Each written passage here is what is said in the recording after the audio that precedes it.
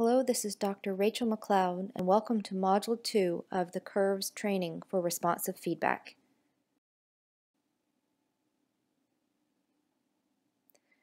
This week, we'll cover the next two sections within our CURVE responsive feedback process, uncovering assumptions and revealing learning opportunities. Within this section, we will discuss the creation of a learning agenda and its importance within a responsive feedback approach. Then we will define a theory of change and map one with an example program while you follow along for your own program. Then we'll hone in on writing specific learning questions that can address areas of uncertainty that we have identified as we map our theory of change. The creation of a learning agenda is a useful process to guide your responsive feedback approach. The learning agenda is an overall roadmap document that includes a theory of change, which will map your assumptions on how you think your program will work, a set of learning questions that arise from the set of knowledge gaps that you still have within your program and how to best operate it, and a plan for the activities to address those learning questions. So within the learning agenda, you start broadly creating your theory of change. Through that process, and as you identify your program assumptions, you also identify knowledge gaps or areas in which you still need to know more about how to operate your program for the best results. Based on those knowledge gaps, you then write more specific learning questions that will guide your responsive feedback activities. And finally, in the next module, we discuss the gathering evidence that addresses the learning questions and those knowledge gaps.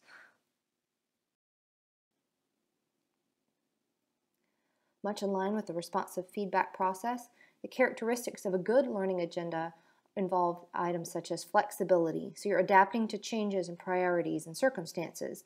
So this means that you wouldn't just set a learning agenda and then never revisit it. It will be revisited throughout the course of a program, much like the theory of change that we will learn about in a second. And as your priorities shift and adapt, you can revisit those, work with your stakeholders, and see if there needs to be items that are updated or if priorities need to shift. Uh, key, which uh, this element has been throughout the, the training so far, is we need to make sure that it's realistic. We want to make sure that any learning agenda that you create can actually be achieved using your program resources, your staff skills and capabilities, and this is another reason that we had our previous module to kind of assess some of these resources, see if there is a way that we can improve upon these resources and get those in place so you can help create a realistic learning agenda with the skills that you have. We also want it to be inclusive. This also links back to our previous module where we want to include multiple stakeholder viewpoints uh, all the way from senior leaders down to frontline workers and even beneficiaries so that the learning agenda is representing the interests of multiple parties. And then we want it to be actionable. So we want it to have a timely uptake and use of knowledge that can occur while your program is still in the field. So much like the goal of being realistic, we want to make sure that the learning questions you choose can be implemented in the field and also analyzed in time to provide uh, meaningful feedback to change your program before its completion.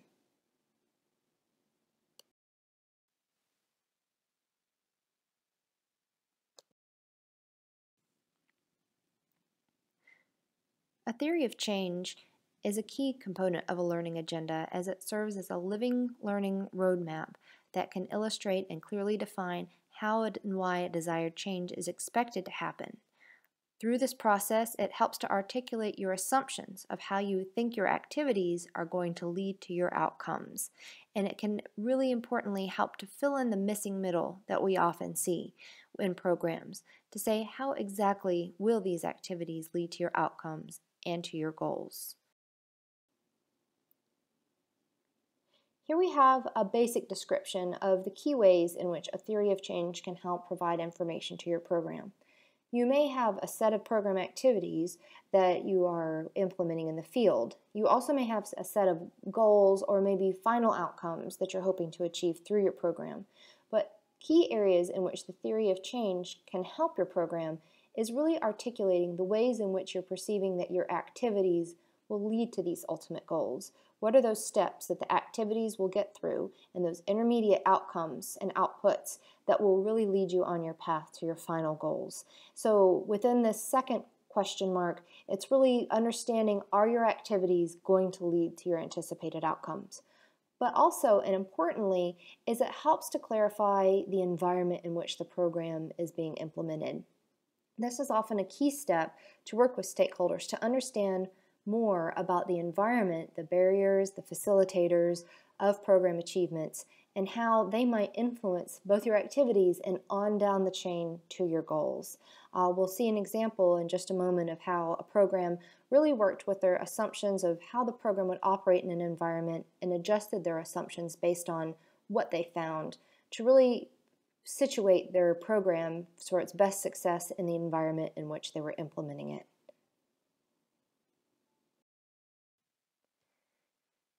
Here we can see the building blocks of a theory of change. As you can see, everything is situated within a goal, a clear, realistic, but ambitious mission for the program.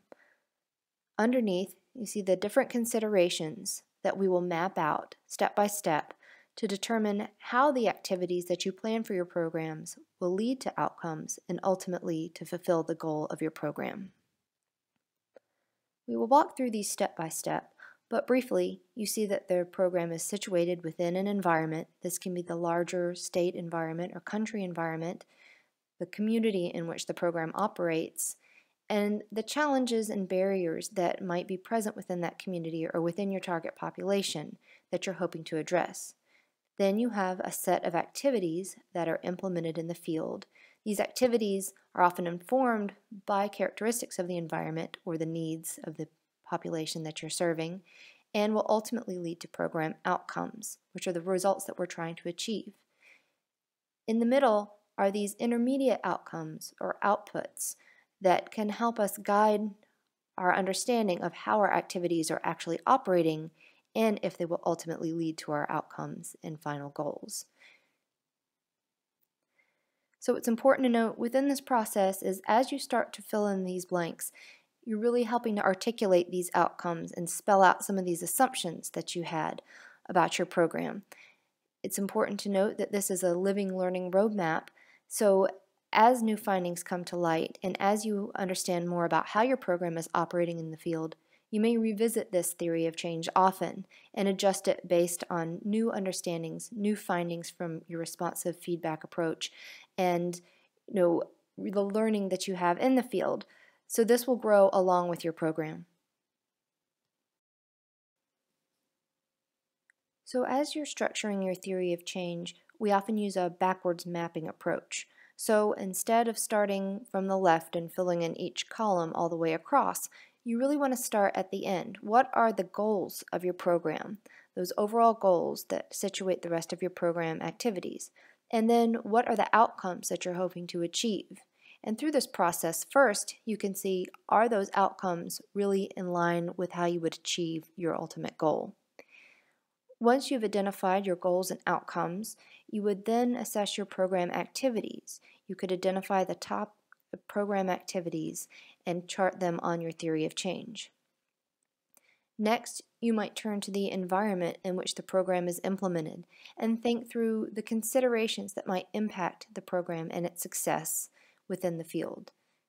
And then finally, after you have all of these components down, you challenge yourself to think through how do you actually think that your program activities will help you, help you reach these outcomes? What are the exact channels that the program will have to take to reach these outcomes? And how might we measure that within the field? And as you go through this process and answer these questions, it might start to become evident that there are knowledge gaps. There are gaps in your understanding of how your program can actually work within the field to achieve these outcomes.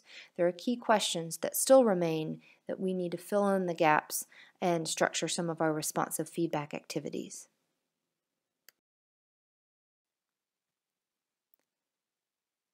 For our first section of our worksheet today, we'll have you walk through a theory of change and as we present material on our slides, you can pause and fill in the material as it corresponds to your program and your program activities.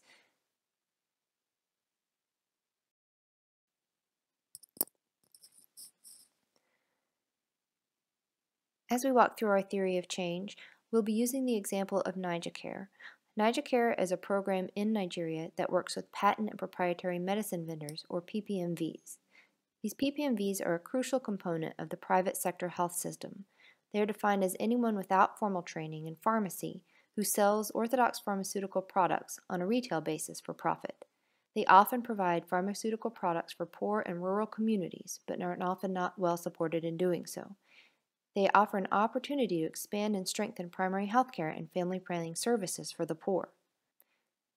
So the goal of this program is to work with PPMVs both to improve their service delivery and to help meet their business needs. And as we go through this example, we'll see that this was a program that was taken from another program in Kenya and adopted for the Nigerian environment. And we'll see the process through which they created their initial theory of change and the assumptions they Here we see that the overall goal of the NaijaCare program was to improve the health provision for the poor through PPMVs. Their outcomes centered around improving PPMV livelihoods by helping them meet their business and financial needs, and also through improving customer health outcomes. So here we can see that there is a link between the outcomes of the program and their overall program goal.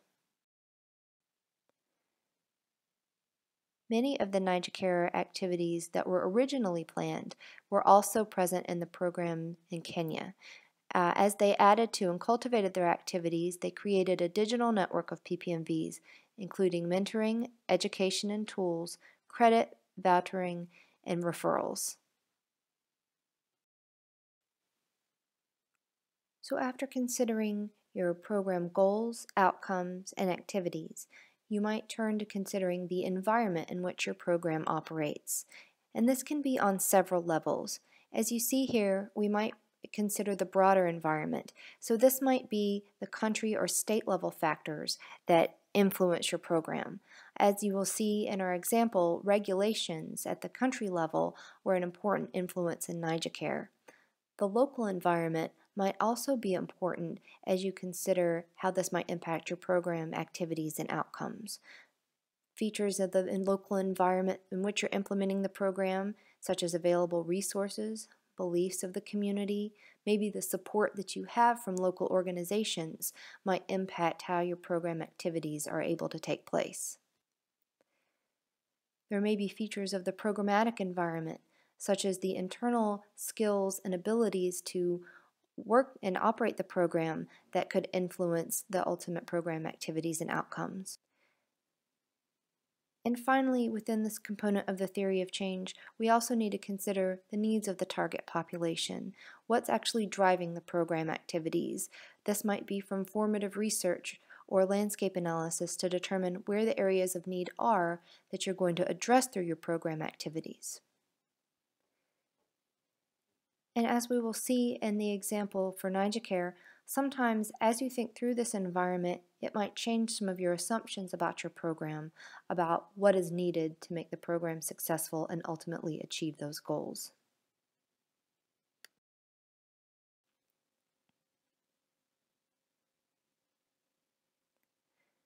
So within our NaijaCare example, we focus on how the country level environment could impact program assumptions and what was needed for program success. As NaijaCare program staff were designing the program, they conducted a landscape analysis and design workshops, which revealed key differences from how the program worked in Kenya. For example, in Nigeria, there were reports that PPMVs were a major route for substandard and counterfeit medicines, and they were selling medicines not covered under their licenses. There were also imminent regulatory changes that would create three tiers of PPMVs and require them to register within the Pharmacist Council of Nigeria. So already this indicates that there are certain features within the Nigeria environment that must be addressed to help PPMVs succeed. They were going to face regulatory challenges and particularly would be placed into tiers, which meant that there might be different needs for different PPMVs that must be addressed. And also the issue of ways to reduce counterfeit drugs must be addressed within a program activity. Here we start to see how activities are outlined and charted through to outcomes.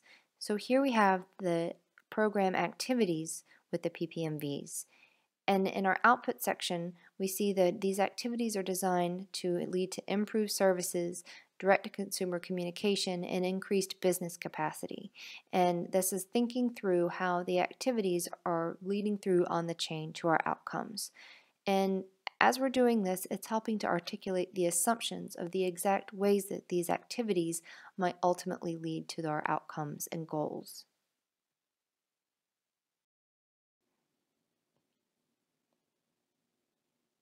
Based on their landscape analysis and their understanding of the environment in Nigeria, the program realized that they needed to address the need to change their assumptions or update their assumptions to understand how activities within the Nigerian context would lead to outcomes.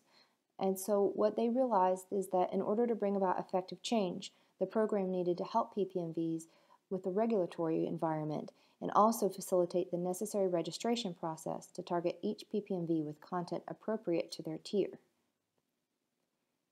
In response, they added another activity, the creating of a digital ordering facility for PPMVs. This would enable the PPMVs to order medicine from an assured provider, also addressing the potential for counterfeit medicines and creating a secure supply chain. This would also lead to improved products, which directly links back to the, some of the environmental findings as well. So through this process, they took the program from Kenya, had their activities and charted them to their outcomes. But then after understanding the environment of Nigeria, they realized they needed to address some additional considerations, add to their activities to make sure that they were able to meet those outcomes in this context.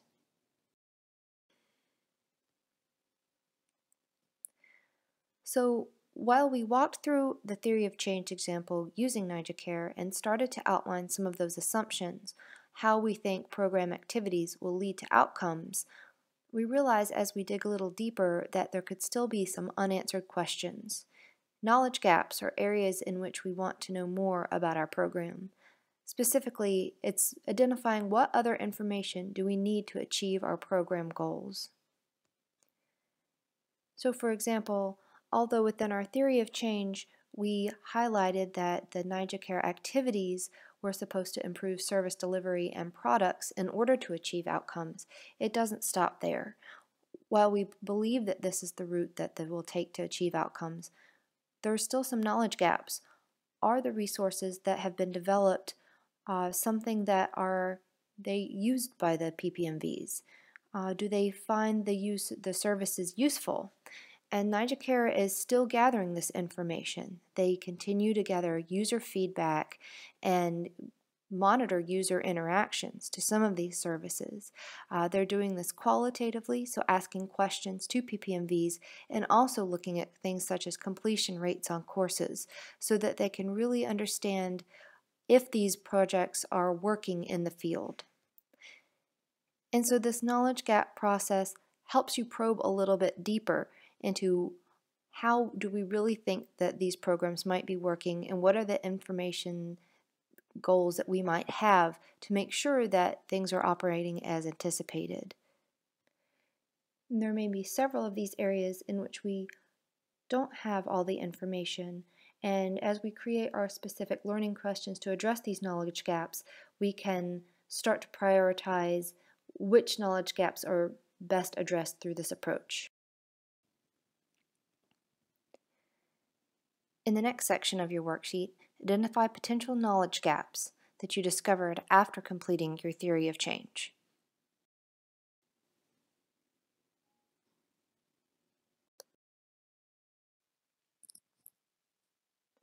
Learning questions are questions that are related to programs and activities that are really meant to address the knowledge gaps that you have identified within your program. If answered, a learning question should help you make better, more informed decisions about your program. There are many diverse areas uh, that a learning question could address, uh, but here we have some sample topics. It might be that you need to understand how to best reach your target audience or community with uh, health communication information. You might need to understand the environmental challenges like we discussed in our example and understand how to address them or how they might impact your program activities. If you are considering a new strategy, you may wonder if it's going to work and how you might be able to pilot that and iterate that into your program. You might not understand how a current strategy works or what is making it successful. And importantly, if a strategy is not working, this process can help you get out why it's not working and how to address it. So as you can see, depending on the knowledge gaps you've identified, you might have many different questions or topic areas that you would like to um, address with a learning question. However, as we go through the next slides, we're going to help you work to prioritize your learning questions and give you some simple ways to evaluate that question and if it might be the best fit for the program at this stage.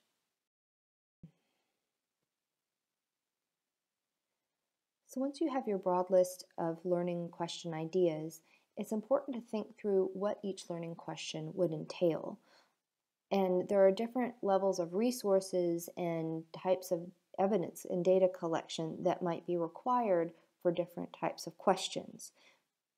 While this could fall under many different categories, there's broadly two main buckets that it could fall into.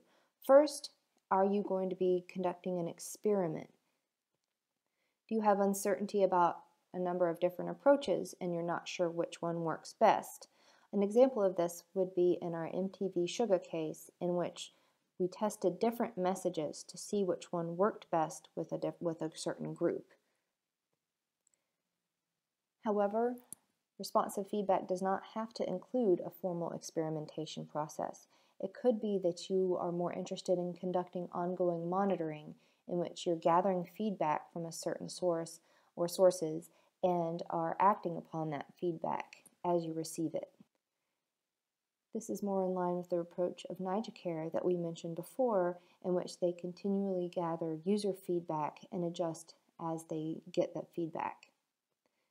So there could be different learning questions and how they were framed that are associated with an experimentation approach or a monitoring approach. So as you're prioritizing and refining your activities, you could think through what types of approaches you want to pursue and see what kinds of approaches your learning questions suggest, keeping in mind that there will be different resource needs uh, for different approaches. So as you're starting to refine these questions, thinking through these processes and how the activities would need to be structured to answer your questions will help at you refine your approach.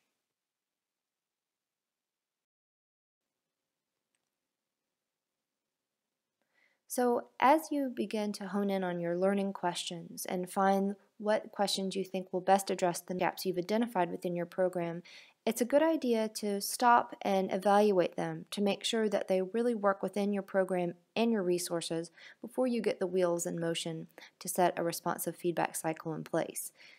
So, first, you might ask Is the program and the question useful? Is there a clear applicability of the question to the program? Is your question addressing a knowledge gap that is of importance to your program? Is the question timely? Can you answer it while the program is still in the field? It's obviously a key component to make sure that we aren't overly ambitious with a question that can't be answered during the time allotted, given the time and resources needed to address it. Is the question strategic? Are there ways that your question can be answered using existing resources? Has data already been collected and maybe just not analyzed that could be used within your program to help either answer the question or provide some context or information that could help you answer the question. What resources are available that mean you don't have to start from scratch in this process? Is it feasible? Do you have the resources to answer this question? Do you have the staff time and skills to do so? And is the question inclusive? Has it been developed with or reviewed by stakeholders? Does it represent the needs of the program beneficiaries? Are there ways to involve the program beneficiaries in the brainstorming process of creating and refining these learning questions?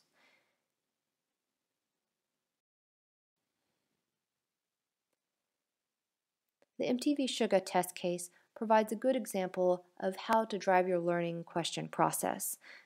As you may remember from last week, the MTV Shuga had a social media component and a television component. And as the team was working to determine how to best conduct responsive feedback activities within the program, they really kind of focused in on some of the goals we mentioned on the last slide. So as you can see, focusing on social media allows for a much more timely approach because they could focus on questions about Facebook engagement that could be answered quickly very soon after the post was published. It was also feasible. The resources were easily gathered to implement this on social media, and it was also strategic because it was able to leverage metrics that are already collected by Facebook for some quick analysis.